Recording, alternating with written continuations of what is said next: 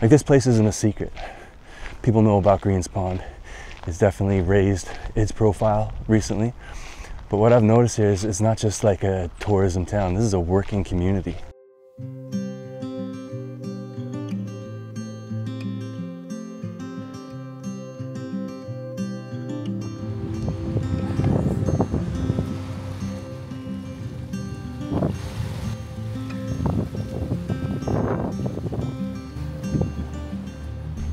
Kind of feels a little bit redundant to talk about friendly Newfoundlanders in a place like this, specifically in a place like this. Newfoundlanders are friendly for the most part in most places, but here it's definitely, definitely obvious. Right? I had a few experiences with business owners, you know, the Hub of the North.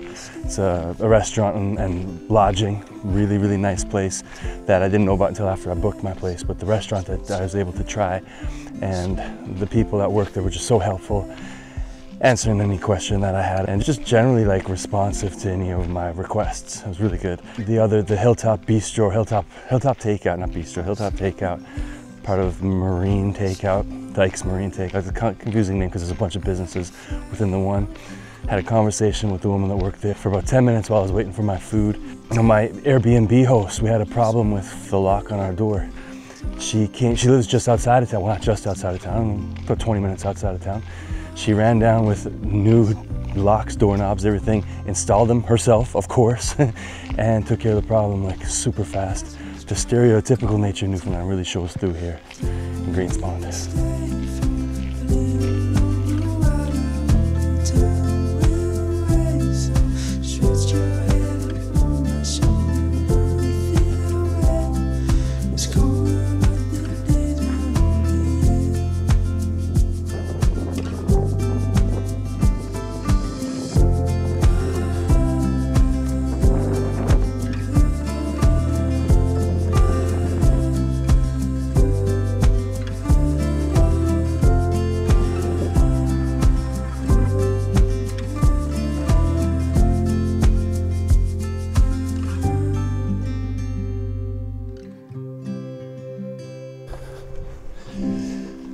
So this is the Greenspond Historic Courthouse, and they just did a bunch of work restoring things, and the project basically was completed at the, the mid to late August, so recently.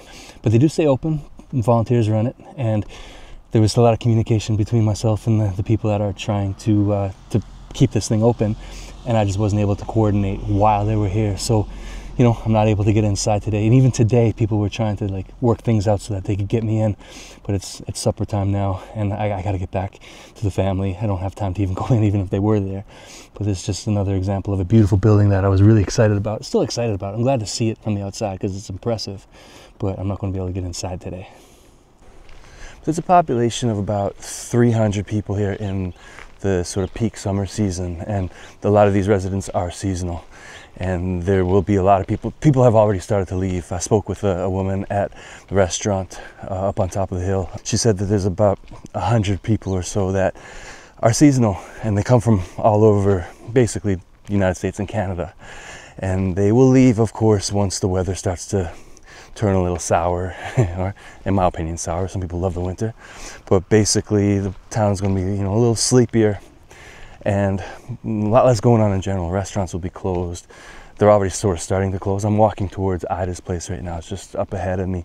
They're already down to weekend hours. And I mentioned in another video how I missed out on visiting Ida's by about five minutes. We got in on a Sunday at about five to five, couldn't find a place.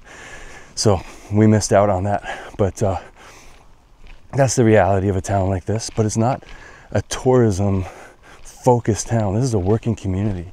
You see the the fishing boats coming in about nine in the morning after an early morning run out on the, the inshore, which is you know the, the life's blood of Greenspond, the inshore fishery. And that's still happening. And you get the feel here that this is a, a normal working community despite it being a you know very small community. The hope for the future with tourism is real here. This place is on a very, very short list of the most beautiful towns in this province. And it's not a secret. People know about Greenspond. It's just, it hasn't received, as far as I can see, the investment, oh, can you hear the rooster? hasn't received the uh, the cash injection or the investment that you know Bonavista or Fogo Island or Twillingate has yet, but it's definitely coming because this place is just incredible.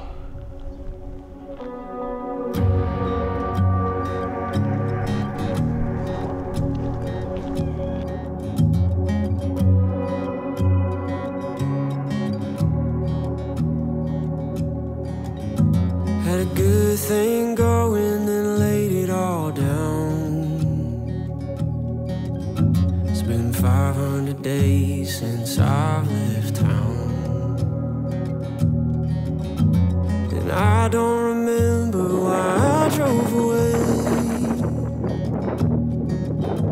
Please understand, I'm barely scratching the surface of Greenspond. I'm exploring the, the architecture, the old houses and buildings, and the town itself.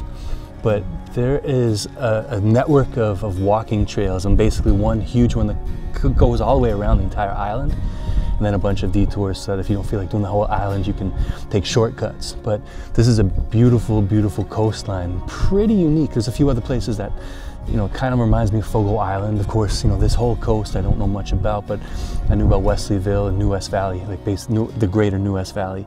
And uh, this is a pretty barren, relatively shallow water coastline, so it creates a, a very different landscape than anywhere else that I've seen in Newfoundland, really. So it's probably a beautiful walk, but I'm not going to be doing it this trip. I just don't have the time and traveling with families. So I don't really have the ability to just do everything on my own. But I will be back because this is one of my favorite towns that I've seen so far. I say that a lot in my videos, but I keep finding these places that I never visited before that just open my eyes to things about Newfoundland that I never knew about. So eh, I'm going to be back. I'm going to explore the, the coastline at some point, but I'm not doing it this time. But just know that if you came, if hiking, going for beautiful seaside strolls is your thing, you have a great, great trail to follow here in Greenspond. You start right here, basically.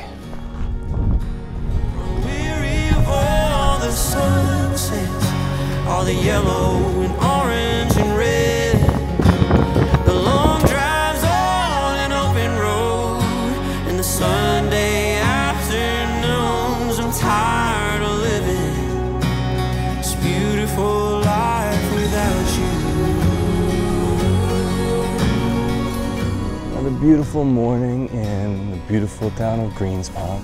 It's actually pretty calm and warm and sunny and just you know brings out the colors that people have painted all of the, the fishing sheds in the houses with there even more. And just something about the the clouds and the grayness of Newfoundland that when it goes away even for just a short period of time makes it that much more impactful. It's so beautiful here right now. I mean, I can't imagine painting a, an idyllic fishing town and coming up with anything other than this. But it is a particularly beautiful morning. And it's too bad we're actually leaving this morning. I'm gonna miss Greenspond. I think this is uh, a little bit eye-opening for me. I'm gonna make sure that I don't skip over it if I'm heading up Highway 320 in the future. You know, Lumsden is a major draw for people, and it should be. It's a beautiful beach. And if you come to Greenspond, you got a detour for 15 minutes or so off of that highway. So it's 15 minutes in, 15 minutes back out, and you can't just pop in and pop out of here. You have to spend some time. So I suggest factoring in a little bit of time to to come here